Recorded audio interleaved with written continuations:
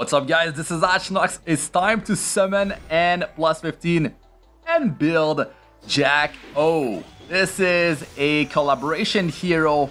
Guilty Gear collaboration is back and we finally have Jack O. So here she is a fire warrior. I'll give you guys my thoughts about this hero as I try to summon for her. I don't know if I'm going to be getting the artifact. Good luck to everyone trying to summon for her. Her kit looks very strong, guys. Like very, very strong uh, kit.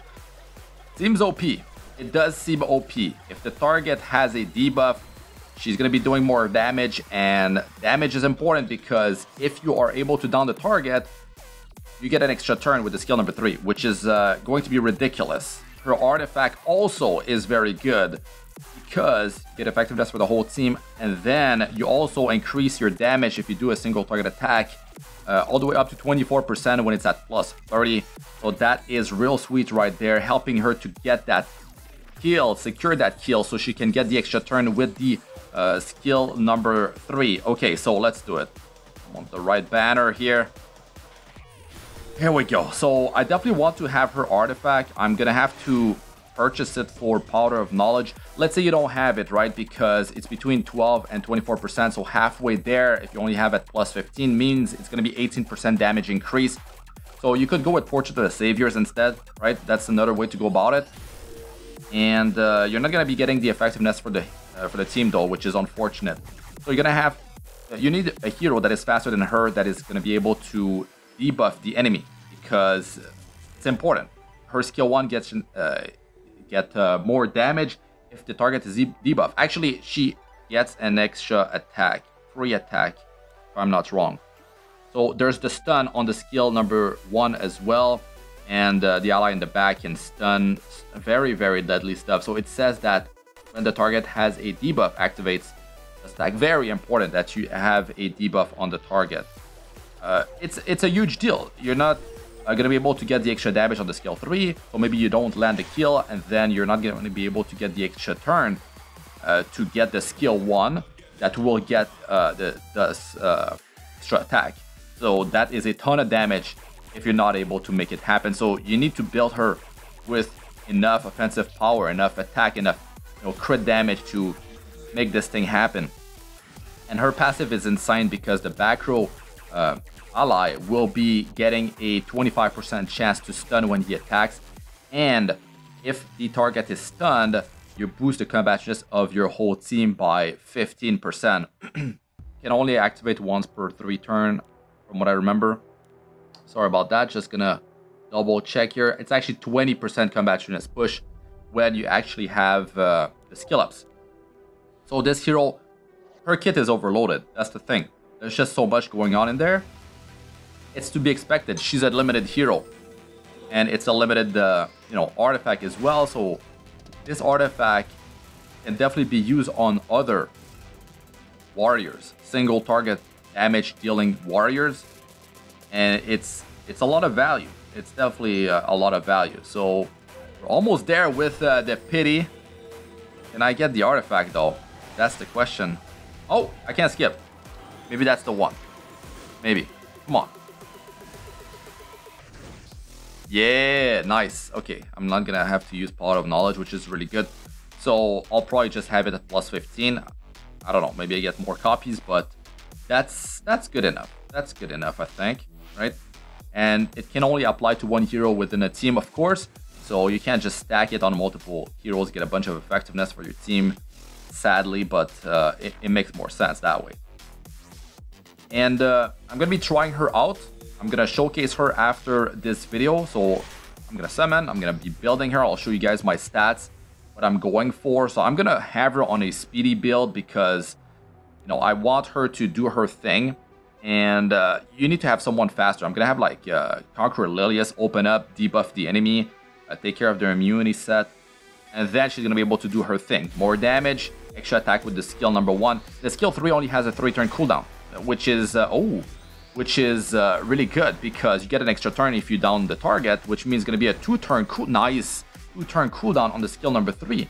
So you're going to be able to use that thing often, and you're going to be able to hopefully take out targets uh, one by one, and then like you get the extra turn into the skill one. So maybe the skill one with the extra attack, especially, you're going to be able to maybe take out someone else, or at least soften them up, uh, soften them up enough uh, to have another hero take that, you know, hero out, or maybe she, with her skill number three, is going to be able to make it happen.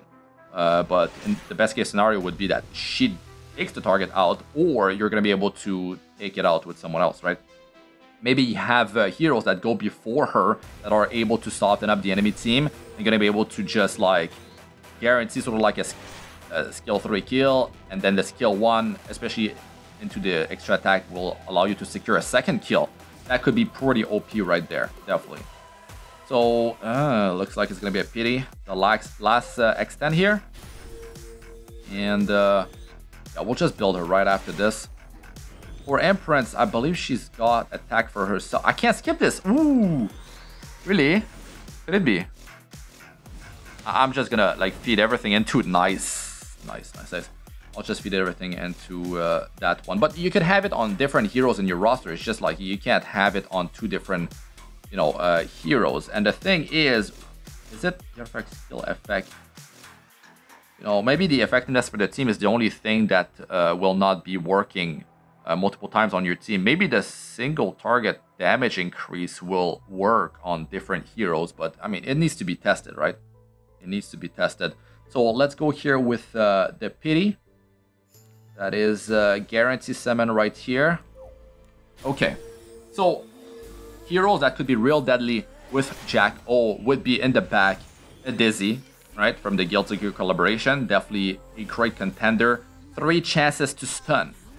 Three chances to stun is crazy because Dizzy skill 1, AoE attack, and chance to stun, Abyssal Crown, chance to stun, and Chain of Iron, her passive, uh, giving a chance to stun on the skill 1 that cannot be dispelled. It lasts for two turns, so maybe you want the backliner to have like a counter set, be slow so it lasts longer. And uh, yeah, imagine, oh my god, it's, it's, it's, it's gonna be crazy. It's gonna be crazy. Uh, and uh, it can definitely happen on a counter attack. Like it doesn't need to be on their turn uh, to actually land the stun. 25% there, Abyssal Crown plus the oh, the base chance on S1 of Dizzy. And then you have Brilliant too, which is definitely something I'm going to be trying out. So let me grab her 15 skill her up and uh, we'll uh, build her together and put some gear on her. Alright boys, Jack O, that is her base stats with level 60 with the 6th Awakening done. Can see it is well balanced. Very nice stats. You know, she gets crit crit damage from Awakening. Everything is solid. Everything is solid there. So right here I have an imprint so she can get a bit more attack, pushing her over 1300. And for her skill ups, her skill ups, what is important? Well, the minus one turn is a big deal. I mean, three turn cooldown. If you down the target, it's actually a two turn cooldown, which is insane. Gonna be able to cycle this S3 often. And just maxing this thing is, is super important because you need to down the target. It's imperative. You get the 50% defense penetration, you get the self-attack buff. It's pretty ridiculous what kind of damage I think she's going to be able to pull off with the skill number 3. Um, but yeah, just secure the kill is very important. Get the skill up, so maybe you can build her more bruisery if you get the extra damage there. Especially with her own, uh, you know, limited artifact. You have a debuff. It's going to help you tremendously. Okay, so now the passive is not that big of a deal. You can get the early skill ups in there, but it can only activate once every three turns. Maybe you have your team speed tuned and you need to get someone what a bit of CR pushing, so getting it to 20% would help. But she's not like a super high speed initiator that CR pushed the whole team, so it is not that major of a deal. Now the skill one is important because you get stun chance from 30 to 40%, so get the 10% effect chance there. And of course, getting more damage here is going to be important uh, but not as important as maxing the skill 3 ASAP. So I would just like kind of max out this thing before even worrying on like about the other two, uh, to be honest. So yeah, because stuff happens very early on, on like when you're using a very high offense hero, uh, I mean, yeah, turn one, turn two are super important. So let me put some gear on her. Let's look at her stats. And uh, yeah, I'll have her fast and uh, we'll just see. We'll see. Alright guys, this is her build. She's on speed penetration set and her stats are pretty inflated in terms of offensive power. Her survivability is not so good. but I'm going for max damage. I'm going for max damage. I even have her on a penetration set to push the uh, defense penetration even further. Uh, from my understanding, it, it, doesn't add up, right? It, it's going to be um, you know 50% pen and then like 20% of what's left and not like 70% defense penetration. So of course, it's not so great, but at least it's to help out for the skill 1 and the extra attack because they are, you know, single target attacks. Uh, the stealth, of course, is to be real handy to boost her survivability. So I'm to work with that to try to keep her alive. And uh, man, I-, I can't wait to see what kind of numbers she's to be able to pull off. Effectiveness-wise, doesn't have much at all. Uh, the stuns would definitely be nice, but uh, I'll, you know, I'll live with that. Uh, so yeah, you can see that crazy amount of, uh, you know, attack crit damage it is pretty insane with 206 speed, so she's gonna be speed tuned, and I'm gonna use like DJ Bazaar to push her, and she's self-sufficient with the you know self-attack buff on the skill 3. So it's great. I need I don't need to worry about having an attack buffer in the team. I just need to worry about having a debuff on targets I'm going to attack. So yeah, I mean, let us know what you guys think about this build. I feel like it's pretty solid. You can definitely have her on penetration, uh, but you can also have her on immunity, right? Speed, immunity, and I think that she's gonna be able to have enough damage to be built on like other sets, right? Like counter set, or I mean, you could have her on all sorts of different setups. You could have her on attack, you could have her on destruction, you can have her on life steal. I think. Um, yeah, we'll see. We'll see what kind of damage she really dishes out.